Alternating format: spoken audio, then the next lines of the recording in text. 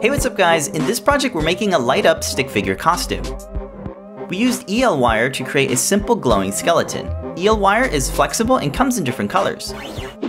You can get the parts to build this project by checking out the links in the description of this video. Start by laying out the EL wire over your attire to map out the form. Then use a needle and thread to stitch the EL wire to the apparel. This battery sleeve is 3D printed in NinjaFlex and stitched inside one of the pockets.